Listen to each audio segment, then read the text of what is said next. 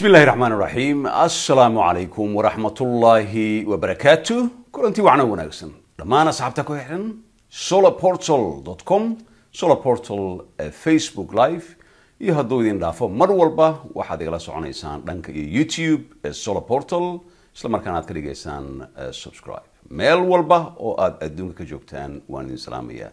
Barnaamijka maxaa cusub ee taxanaha noo ahaan jiray? Solar portal ayaan waxaan doonayaa qodobo muhiima in aan ku taabto si aan waqti fiican aan u siiyo asxaabta mar walba ila socota isla markaana aan u sheego waxyaabaha muhiimka ah ee runta ah ee jira oo mar walbana dhegeysta aad ayaad umahadsantihiin waxaan idinka codsanayaa in barnaamijka aad sii qaybisaan wadanka saa la socotaan soomaaliya hadduu alla yidhaahdo doorashooyin ayaa ka dhacaya. One way another say ahaataba doorashooyin ayaa ka dhacaya. Waktiga iminka lagu jirana waa kala guur waxaana wadanka waktigan madaxweyne ka ah maxamed cabdulaahi maxamed farmaajo oo ah madaxweynihiina iyo madaxweynaheena iyo qof kastoo soomaali ah oo ku nool jamhuuriyadda federaalk soomaaliya madaxweyne u ah. Sidaa awgeed waa qor isku dhiib afartii sanaba sidaan naqaano wadanka doorasho way ka dhacaan waana qor isku dhiibkaas ayaa dhaca. Si wuxuu dhacaa a peaceful transfer of power loo yidhaahdo ama si nabadgelyo ay ku jirto oo laisugu dhiibo. Marka saa la socotaan wadanka xilligan aan joogno ra'iisul wasaare male waa kolley habeen iyo maalin. Waxaan ka maqalnaa reer social media baraha bulshada. Hebel baa la dooranayaa caawa lagu dhawaaqayaa umusho caawa xalay bay uur qaaday. Dadku way isku dhex yaaceen marka waa loo aamusa kolley qofka go'aanka gaaraya madaxweynaha oo soo dooranaya qofkii. Uu asaga markaa u arko in uu la shaqayn karo inta ka dhiman xilliga ay doorashooyinka ay dhacayaan. Marka ayaamihii ugu dambeeyey dhowrkii asbuuci ugu dambeeyey dowladda soomaaliya khaasatan madaxweynaha iyo dowlad goboleedka qeybihii dhuusmareeb one iyo two waqti fiican ayay geliyeen. Waxyaaba badan oo la dhihi karo faa'iida yihiin way ka soo baxeen. Laakiin markii ugu dambeysay markii ay ka maqnaayeen puntland iyo jubbaland xoogaa dadku waxay is yidhaahdeen sidii loogu talagalay kuma soo dhammaan. Runtiina qoraalo kala duwan ayaa laga soo saaray. Puntland way ka hadashay jubbaland way ka hadashay. Kolley waxaa loo wada socdaa qof walba uu aaminsan yahay haddii ahaan lahayd dowladda soomaaliya hadday ahaan lahayd members oo dowladda federaalka ee dowlad goboleedka shanta ah ay ahaan lahayd in wadanka ay ka dhacdo nooc maaragtay qof walba oo soomaali ah marka uu ku faraxsan yahay. Sababto situationka waddanka uu ka jiro oo ah in magaalo walba oo soomaaliya aan gacanta lagu hayn dowladda somalia gacanta ku hayn.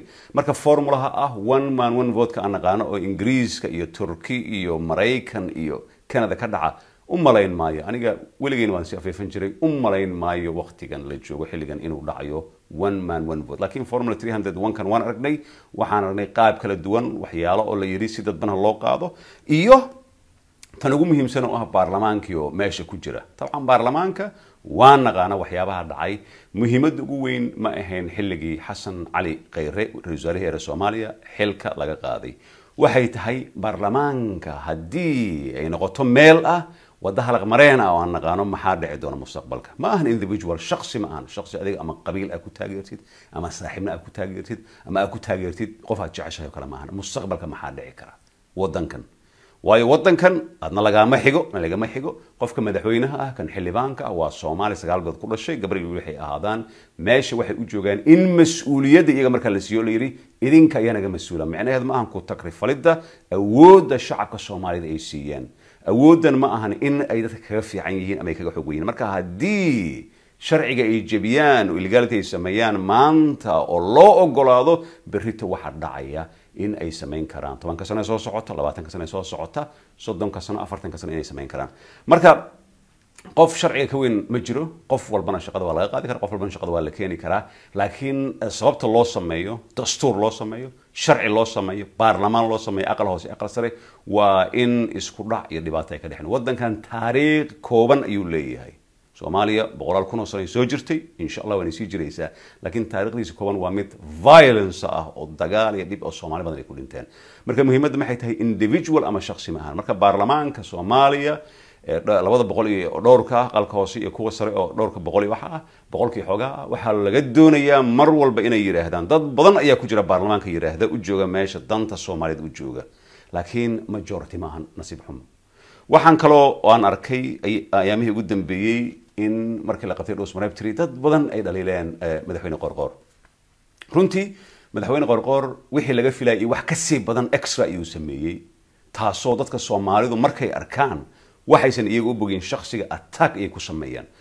War si kasto adiga qof adiga kaa socda ama reerkaaga ah ama siyaasadaan u jeceshahay haddii xal ku xun yahay meesha ugu horeyso in isha la saarayo o la taageerayo number one ka ah waa soomaaliya. Maxaa u soo socda? Sababtoo ah dadka gudaha jooga tooda waa la gartay lakiin kuwa dibadda jira runtii aniga ma xisaabsado. Waxaan u xisaabsanay ama qurba joog waan ahaan jiray haddana waan ahay. Insha allah waxaan doonaya qurbaha inaan ka soo dhamaado say haataba. Waxaan u xisaabsanin gudaha wadanka markaa joogtid iyo dibadda xaalku waa kala duwan yahay. Hadda soomaaliya lix bilood aan ku sugnaa oo aan ku noola waxyaabihii aan arkay sida dadkay u nool yihiin rafaadka lagu jiro nabadda ay doonayaan i kan qurbaha jooga ee waxba aan ku haynin baagamuundada ah waxba aanan baran waxba aanan samayn wuxuu doonaya uu ku farxaya habeenkii uu yidhaahdo maanta xabad baa dhacday. Maanta dhib baa dhacay. Rafaad baa dhacay. Qabiilkana saan lama yeeli karo inta.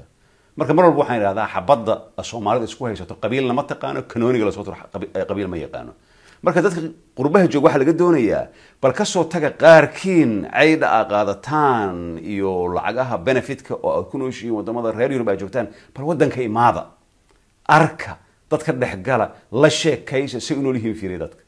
Dadka majority-ga dadka ugu badan ee soomaaliyeed ee ku nool soomaaliya meel walba aan ku soo wareegay waxay doonayaan nabad iyo sharafta iyo karaamada inay soo noqoto. Tabcan waxaad ka arkaysaa waxyaaba cajiib ah oo oo qabaa'ilaysiga iyo qabiilka. Qabiilka tabcan mar walba waana loo sheegay qof walba qabiil ka dhashay.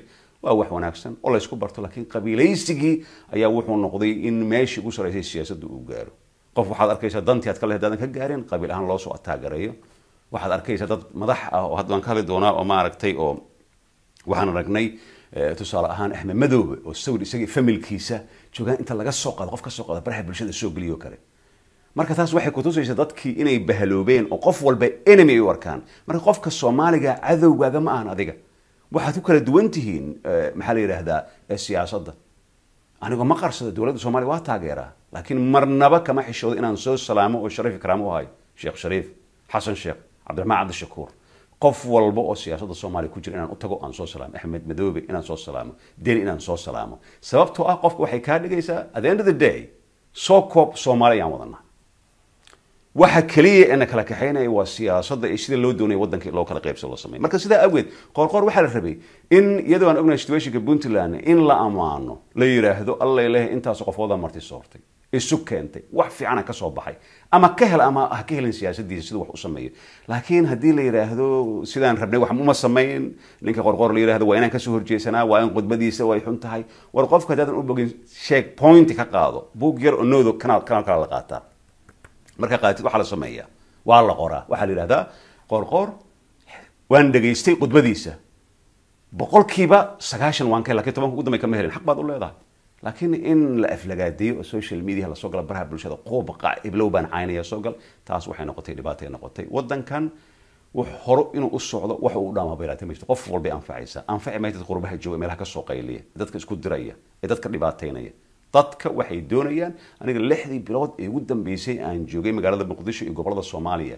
Hadday ahaan lahayd geesu gees from baraawe ilaa iyo garoowe ilaa iyo dhusmare meel aan ku soo wareegin dhul weyn ku soo wareegay. Dadka soomaaliyeed sida laga dhigayo kuwa qurbaha joogay kuwa dantooda gooniha wato isku mid ma ahan. Ama kuwa xildhibaanada ah oo dantooda wato oo aan u tegi karin ma ahan. Dadka soomaaliyeed soomaalimada ay jecel yihiin. Qofka maanta kugu soo dhaweyn maayo meel inaad isqabiilaad tihiin tusaale ahaan maali gaariba waxaan socday lix boqol oo kilomitr ayaan ku soo socday square oo garoowe laga bilaabo ilaa laga gaaro meelaha ugu dambeeya ilaa ayl laga gaaro ku soo laabo markaa meel soo istaago maqaayad yar oo shaah oo sokor ka buuxdo laga cuno meeshay ahaataba laga cabo dadku markaan sheekaysano cidna i oran mayso waryaahay qabiilkata maxaa ka soo dadka waxay ii jeedaan soomaali inaan ahay ayna doonayaan sharafta ee somalia inay soo noqoto ka tag tag galmudug tag tag meelaha kale waxaa tagtaa shabeellooyinka tag meesha doonta tag. Marka laakiin dadka dantooda wato oo hadday ahaan lahayn xildhibaano ama wasiir hadday ahaan lahayn waxay eegayaan keliya inay yidhaahdaan tolka anaa u jooga meesha u dooday. Tolka uma jooga isaga ayaa isu jooga marka qofka shaksiga marka wadanka haddii political stability oo la keeno oo siyaasadda dhankeeda laga keeno dhanka dhaqaalaha laga keeno dhanka nabadgelya laga keeno wadanka hore u maraya waxaan la tartamayna waddamada dariskeena laha haddii la helo petrol haddii la helo haddii la helo gas la helo somaliland ay ka wada dhexaynaya laakiin wadanka soomaaliya ilamaan laga helo hal wax oo muhiima wax hagaagaya ma jirto. Marka caawa waxaan doonayaa dhalinyarada soomaaliyeed oo dadka ugu muhiimsan ninka qabiil kugu ah waxba kuu tari maayo reerkaad tihiin. Soomaaliya wax kuu taraysa oo generationka kaga tegaysa. Reerkaad kaga tegaysa aad ku dhaqanaysa wax walba soomaaliya haddii siyaasadda reform aan lagu sameynin qaabkay tahay. Wadankan wuxuu noqonayaa waxa dadka reer xamarka dhahan jugjug meeshaada joogay noqonaysaa. Waxaa la doonaya reform isbeddel in lagu sameeyo siyaasadda soomaaliya. Taasoo ah in la sameeyo waxaa la yidhahdo check and balance laiscontrolo haddii check and balance imaanayn dictatorial ay imaanaysa ama keligitalisnima imaanaysa keligitalisnimana waad ogtahay historiga aan ka soo marnay iyo waxa dhibaatooyinka uu keenay iyo meeshuuna gaarsiiyey marka waxaa loo baahan yahay awood iyo sharci iyo inuu yimaado maxkamad sare. Maxkamad dastuuriga la hirgeliyo. In sida supreme court oo ka jira wadanka u k oo kale iyo wadanka maraykanka o kale marka la isqabsado. Laakiin wixii ka dhacay tusaale ahaan soomaaliya hadda ayaamihii ugu dambeeyey waxay ahaayeen arrimo hadda keliya ma ahan shaksiga markaa shaqadiisa ku waaya maahan waxay noqonaysaa in long term in tobanka sano soo socto labaatanka sano soo socota qof walba wuxuu rabo haddii aadan happy ku ahayn ama aadan ku faraxsanin cabdinaasir aad tidhahdeen ninkan meesha waa inaan ka tuuraa. Sidaa awgeeda baarlamaankan u isticmaala sababtoo ah baarlamaanka waa codkii shacabka. Codka shacabkana awood ayuu leeyahay. Markaan la sheekaysto asxaabta member of parliaments ah ama xubnaha ka ah baarlamaanka soomaaliya waxaan idhahdaa awoodda aad leedihiin ma ogdin ayaan idhahdaa awood aad u weyn ayaad leedihiin laakiin qaabkaad u isticmaashaan ma taqaanaan. Awoodda maahan in miis la garaaco ama la isxagxagto ama frimbi la yeeriyo ama la isku dhex fiiro ma ahan. Awoodda qofka soomaaliga uu ku haysto baarlamaanka markuu xubin uu ka yahay waxay tahay sharci dejiye inuu noqdo. Inuu motion keeno. Motionkana waa part of democracy ay noqonaysaa. Ma aha dadkeeni waxa lagu maaweeliyey. Dad ayaa warbaahinta day ahaan lahayd kuwa waaweyn kuwa social media soo gala. Dadkay waalayaan. Waxay leeyihiin sida qof xataa soomaali ka hadlay arki maysa individualka iyo targa laga dhigaya. Waxaa laga hadlayaa maxamed cabdullaahi farmaajo xasan cali khayre yaa imaan doona xildhibaan hebel wasiir hebel waa necbahay axmed madow waa necbahay deni waa necbahay. Sheekada way ka weyn tahay. Aqliga markaan ka shaqaysiino waxaan leenahay maxaa u ron qof ku dhahay ma aragtay maanta xildhibaan ah baarlamaanka soo istaago soomaaliya maxaa u ron baddeena oo kenya u soo socda maxaa u ron baddeena oo etoobiya u soo socda maxaa u ron wadankeena oo imaaraad iyo qatar iyo habarkuuley u soo socdaan maxaa u roon? Qof ka hadlaya ma jirto. Meeshan focuska waxaa la saaray qof walba qof ayaa lagu takooray. Thats why mar walba waxaan idinku celiya aan idin idhahdaa kala qaybiyo u talidii gumaystaha awowayaasheen ay noo sheegi jireen hadday jirtaa. Bal isweydii soomaaliya maxaa loo kala qaybiyey? Bal ma isweydis weliga. Bal fadhiiso waxaad tidhahdaa awood ayaa la wada siiyey dowlad goboleedkii from kismaayo ilaa meesha ugu dambaysa awood ayaa la siiyey. Awooddaasoo gumayso u rabay inuu mid walba saaxiibo noqdo. Soomaalidii isku midabka ahaa isku dhaqanka ahaa isku afka ahaa isku diinta ahaa in saas loo kala saaro. Wax laga soo shaqeeyey. Process laga soo shaqeeyey. Dad ayaa waxay leeyihiin wax ka fiican male dowlad goboleedka tabcan waa fiican tahay federalism wax fiican waa laakiin federalism oo awoodan leh oo centralized government and check and balance aan lahayn waxay noqonaysaa in marka dambe dowlad goboleedka ay noqdaan kuwa safaarada furta sidaan hadda meelo qaarkood ku horna isku dayeen ama wadanka kala weeqasay tahay. Gumaysta waa ku faraxsan yahay. Wadan wadankeena la mid ah soomaaliya oo qaabkan formulahan federalismaha u shaqayso adduunka kama jirto awoodda noocan oo leh. Tag jarmalka tag nigeria tag tag maraykan tag meel walba tag. Ma jirto waxaan waa waali. Marka baarlamaanka waxaa looga baahan yahay in lagu sameeyo dad waxaan ka hadlaynaa soomaalinimo ay ku jirto. Soomaaliga dazamata hadduu kenya degan yahay hadduu jabuuti degan yahay hadduu etoobiya degan yahay dazamata soomaaliya waa soomaali. Laakiin kuwa dowladda federaalka soomaaliya meelaha ay joogto oo xuduudkeena traditionka la yaqaano waxaa la doonaya political reform in loo sameeyo. Wadanka haddaan loo sameynin wadankan waxa uu ku jiro ka bixi maayo. Waxay noqonaysaa dantayda ayaan wataa aniga dantay aan wato haddii aan kaa waayo waan ku colaadaya ayay noqonaysaa. Ma ahan danta soomaaliya haddaan kaa waayo waa ku colaadaynaa ma ahan markaa. Waxaan doonay in aan kala saarno. Muhiim male madaxweyne wuu yimaada wuu baxaa xisbiyada mucaaradka ee waddan ka dhisan waxaa looga baahan yahay in ay la yimaadaan siyaasad iyo manifest markaas ay kula dagaalayaan. Dagaal waxaan ka hadlaya dagaal siyaasad ayaan ka hadlayaa. Oo civilized oo lasu yimaado shaahi la wada xabo marka dambena maaragtay baarlamaanka lasu qabsado. Taas ayaa la doonaya. Laakiin haddii iyagina ay aamusaan oo meelahaas ay ka soo qayliyaan oo aan la imaanin waxay ku bedeli lahaayeen. Ani maanta waan taageeri lahaa markaa. Xisbiga intuu soo fadhiisto u yidhaahdo haddii alla yidhaahdo oo contract uu saxiixo hadduu alla yidhaahdo haddii awoodda waddanka aan la wareegno waxaanu samaynaynaa political reform ayaan samaynaa ama siyaasad isbeddel ayaan samaynaa taasoo aan leenahay in sida sanadka iyo aqalka hoose ee koongareeska maraykanka oo kale ha tusaale ahaan waxay xaqiijiyeen laba maalmood ka hor 25 billion dollars oo post officeka siyaasad dadka maraykanka la socda ayaan ayaa fahmi karaa 25 billion dollars ayay ogolaadeen markay ogolaadeen si post officeka ama boostada reform loogu sameeyo waxaa ka soo horjeesanaya hadda aan ognahay sanadka aqalka sare kaasoo ka badan kuwa dimuqraadiga waxaa ka badan republican ayaa ka badan. Haddii meeshay soo martay madaxweynaha wuxuu yidhi veto ayaan saaraya awoodda marka waxay leedahay check and balance. Marka waxaa la diidayaa hadda saddexda branjo ugu waaweyn baarlamaanka aqalka hoose aqalka sare madaxweynaha in mar walba la sameeyo check and balance la sameeyo. Waa dimuqraadi qof walba qof uu dhowro. Marka haddii xisbi soomaaliyeed uu la yimaado uu yidhaahdo waxaan samaynayaa reform noocaan samaynaya waddanku u hiiliyey waana la dooranaya waana imaanaya waddankana waa maamuli karaa.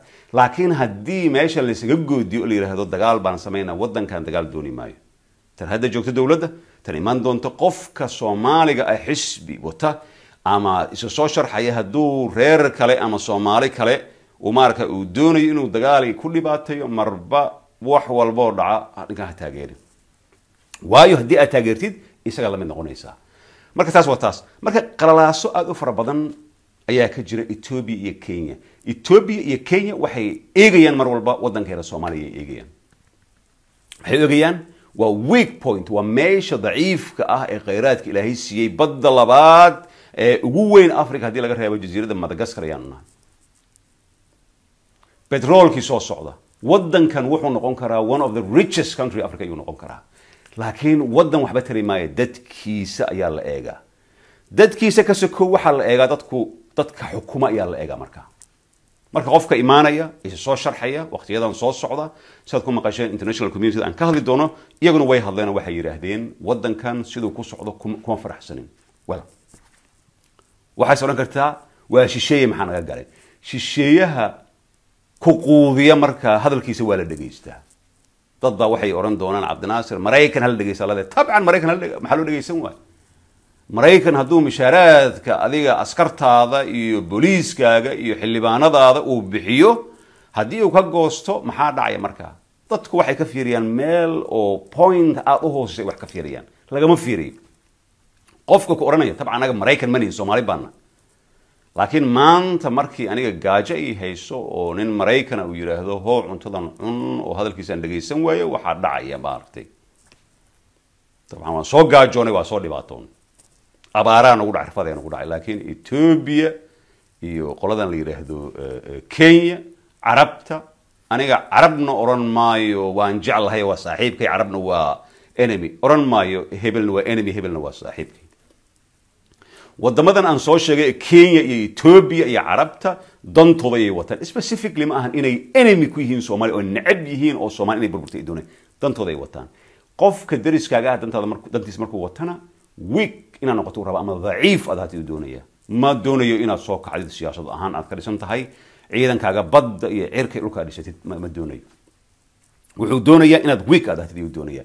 Sidaa awgeed qofka iga dhaadhicinaya etoobiya waa saaxiibkay kenyana waa cadowgayga qatar waa saaxiibkay imaaraadna waa cadowgayga aniga waxaan sameeyaa sida soomaalida hore ay samayn jireen dhegtaanaan geliyaa dhegtaan ayaan ka bixiyaa. Wax meel ka soo qaad male sababtoo ah aniga nin etoobiyaan ama kenyaati ama imaaraad ama qatar ama sacuudi igama aqli badna. Haddaan soomaali ana aqligayaan ka shaqaysiiya waana ka socdaa.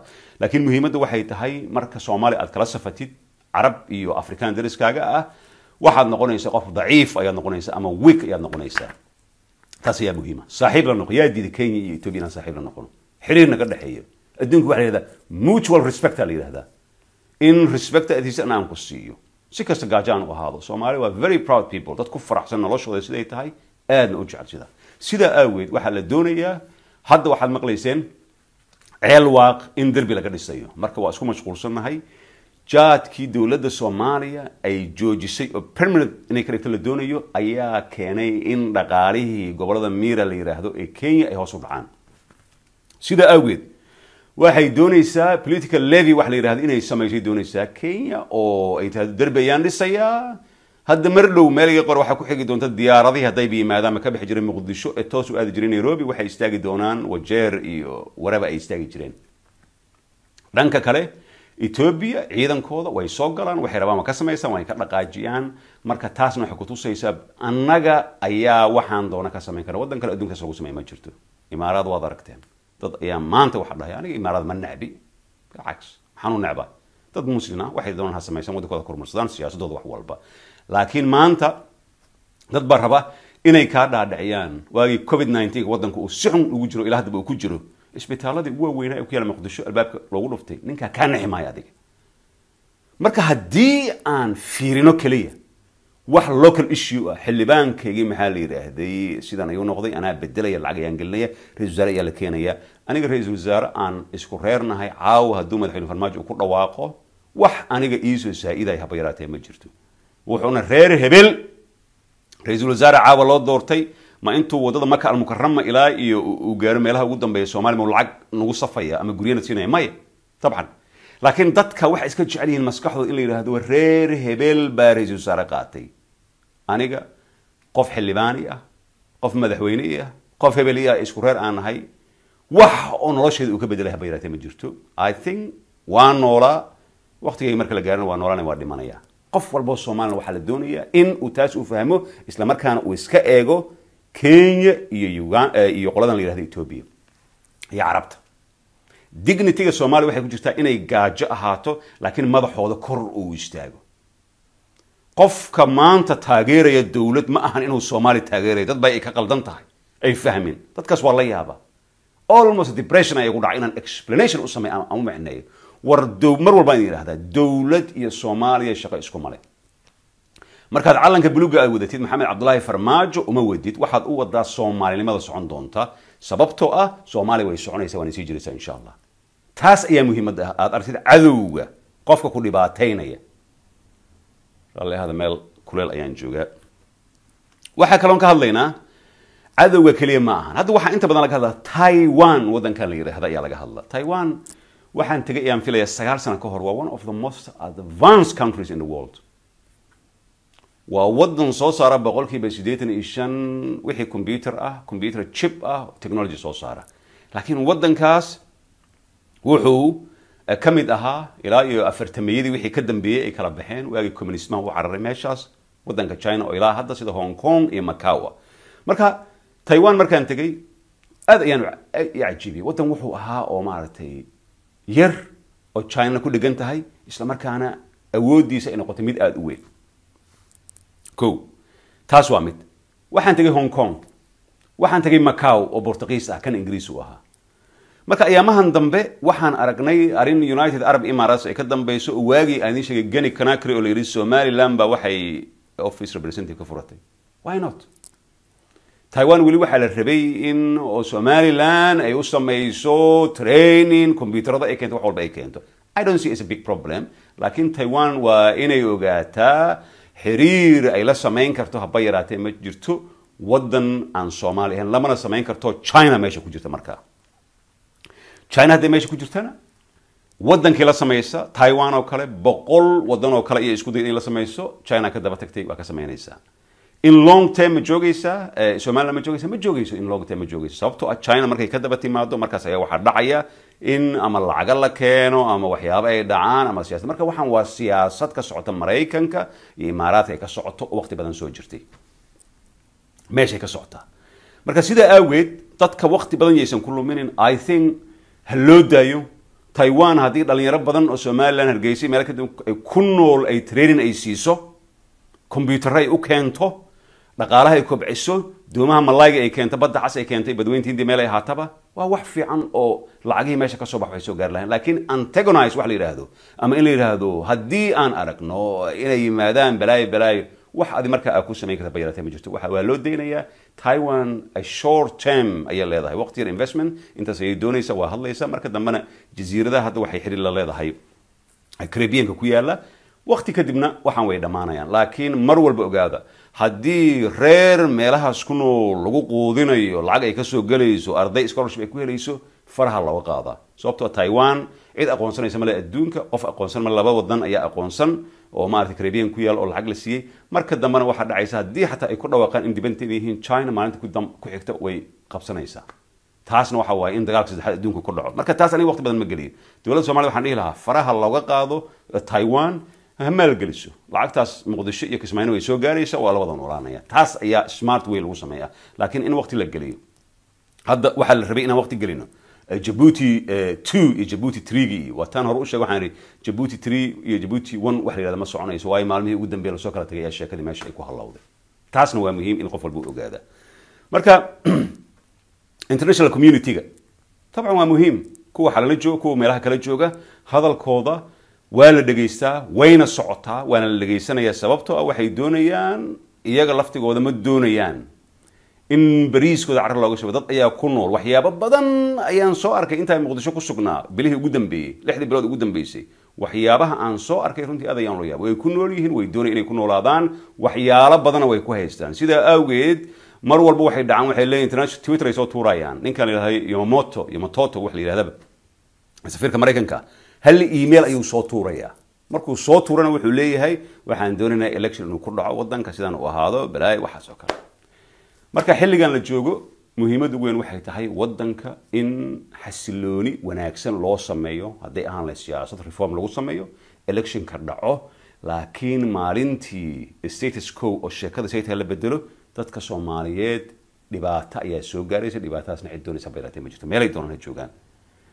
Waxyaaba wanaagsan puntland iyo in la dhaweeyo jubbaland la dhaweeyo laysu keeno la wada hadlo. Ku heshiiya three hundred one ku heshiiya doorasho dadban ku heshiiya hangarka airport ku heshiiya waxaad intaan ku heshiiya laakiin muhiimaddu waxay tahay qof walba madax ah wadanka awood le markuu wax samaynayo waa in uu u turaa masaakiinta soomaali hadda xilligan la joogo. Dagaal dooni mayso dhibna dooni mayso. Sida keliya ay kaga bixi karto dhibkan iyo rafaadkan wuxuu noqonayaa in siyaasadda reform loo sameeyo isla markaana electionka qaabkii loogu talagalay waqtigii loogu talagalay la sameeyo. Haddaan taasa samaynin maxaa dhacaya? Stability wuu xumaanaya ama jahawareer ayaa imaanaya jahawareerna qof doonaya male. Waayo ganacsatada badan aan arkay arkay muqdisho iyo wadanka meelaha kale waxay ka hadlayaan ay sugayaan ilaa wadanka doorasho ay kaga dhacdo oo lagu kala baxo oo madaxweynaha uu joogo uu soo laabto ama mid cusub uu yimaado waxay ahaataba si maalgelin ay u sameeyaan. Kuwii dibadda jooga way fiirinayaan. Hadda waxyaalaha aan ku farxay waxay ahayd xilligii koronaha uu yaro dhammaaday weli wuu ku jiraa wadanka uu yaro dhammaaday.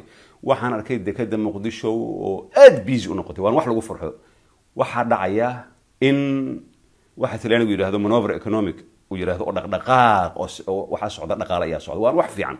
Waayo qofka soomaaliga dekadaas wax ka gala dekadaha soomaliya wax ka gala dadku way isku xiran yihiin way isbiilayaan. Marka qof walba oo social media ku jira yuu dhegaysanin dadka qurbaha jooga. Qofka qurbaha jooga dhegaysan kara waa qof mar walba aad arkaysa soomaaliya inuu turay laakiin qof qabiilkiisa keliya ku daba safan oo dhahay qabiil hebel haddaan nahay haddaan waxaan heli weyn waxaan samaynaa taa waa laga soo tegay qabiil ha ku taageerin qof xun ha ku taageerin. Ku taageer qabiilkaaga hadduu yahay qof wanaagsan ku taageer. No problem waxba dhibaato male laakiin haddii aad aragtay qof le xabad ha la tuuro ha la qaato reerkii wiilashi wiil soomaaliyeed oo labaatan jir oo hadda doonaya inuu qabiil aakhiradiisna ku seego adduunkiisna ku hayo ma jirto. Waa idin salaamaya wixii dhaliil ah solaportal at gmail com wixii taageera solaportal at gmail com. Insha allah bilahan soo socdo waxay noqonaysaa bilaha ugu hadalka badan ee social media aan soo geli doono. Marka subscribe ka dhiga facebooka iyo youtube-ka solar portal. Waa idin salaamaya billahi towfiiq wassalaamu calaykum waraxmat ullaahi wabarakaatu